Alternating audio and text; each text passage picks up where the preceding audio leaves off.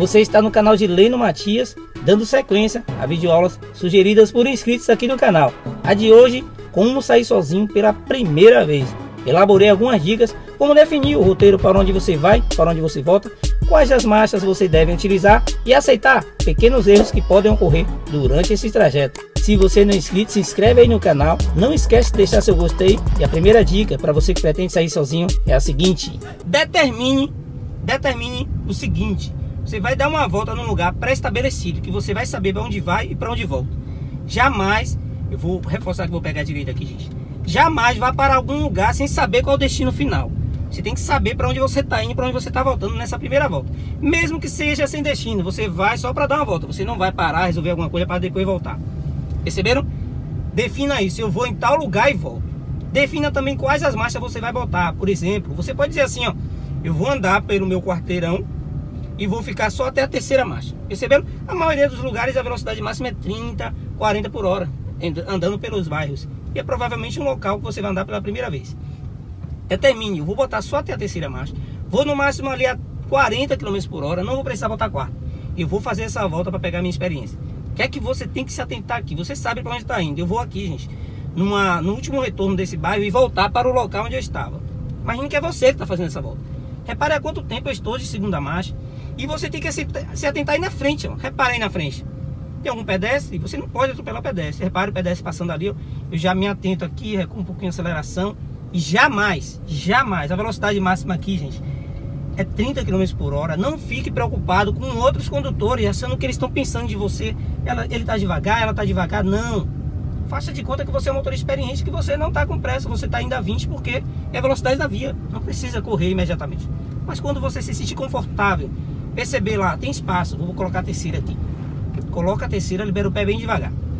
Perceberam?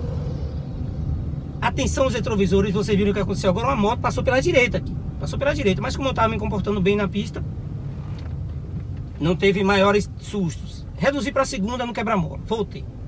Só que aí você que está iniciando, você tem que aceitar o fato de um momento, em algum momento, você vai reduzir, o carro vai dar tranco, o carro vai morrer e você ter autonomia para dizer não. Aconteceu, beleza. O que é que foi que aconteceu para esse carro morrer? Eu liberei o pé rapidamente. Eu fui botar a segunda e caiu a quarta. Foi isso que aconteceu. Da próxima vez se policia para não acontecer novamente. Se acontecer, se policia de novo, até vocês se aperfeiçoando. Jamais deixe que esses erros se atrapalhem. Eu vou pegar a esquerda, reparem. Já estou na metade do caminho. Eu decidi que sair de casa, ia sair de casa, ia botar no máximo uma terceira marcha, que é a primeira vez que eu estou saindo, eu estou com receio. E eu vou observando bastante as frentes, atenção a pedestre. Repare esse segurança, ó. Ele pode fazer menção de atravessar a pista. Eu observei. Perceberam? Parei depois. Porque possivelmente para você que é inexperiente, você tem um carro aqui, gente, vai passar.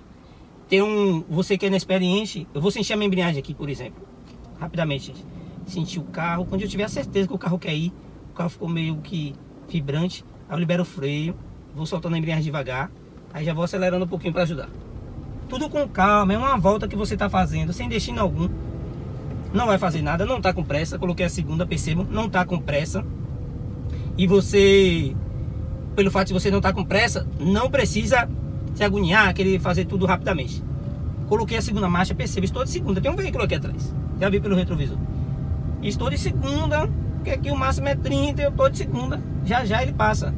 E é o seguinte, gente, vou reduzir aqui, como eu estava falando anteriormente. Às vezes o pedestre aparece ali, não é faixa, como vocês perceberam, e já vi um cruzamento.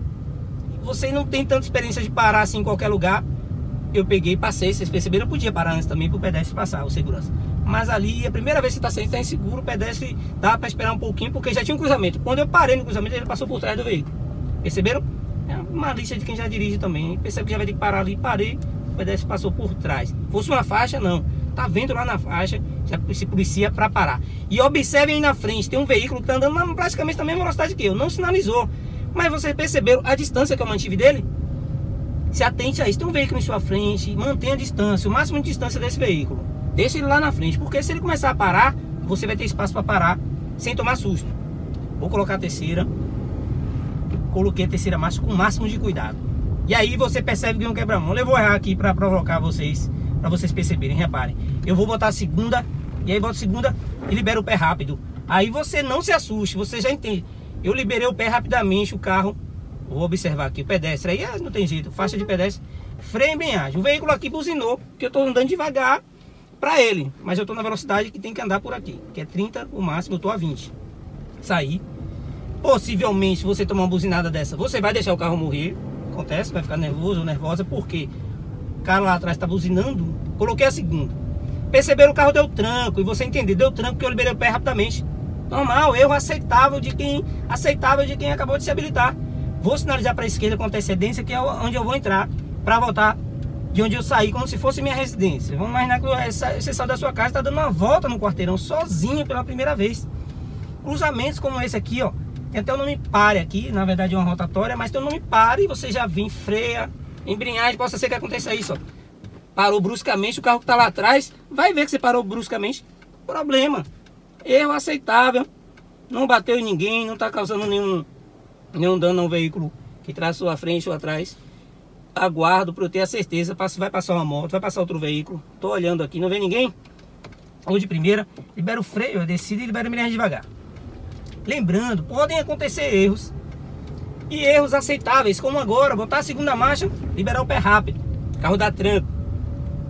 Aí de repente eu vou colocar a terceira aqui para provocar. Se bota a terceira, Aí viu um quebra-mola, por exemplo. Aí você vai botar a segunda, aí você acaba colocando a quarta.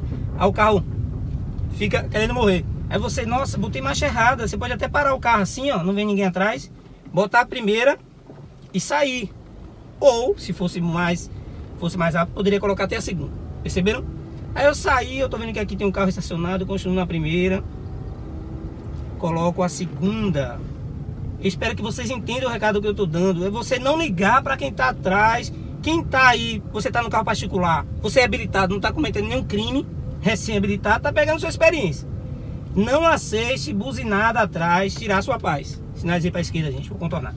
Não aceite. Não aceite você deixar o carro dar tranco, deixar o carro morrer e você ficar se importando para o que os outros vão pensar. Você tem que assumir a postura de uma pessoa recém-habilitada que está pegando experiência.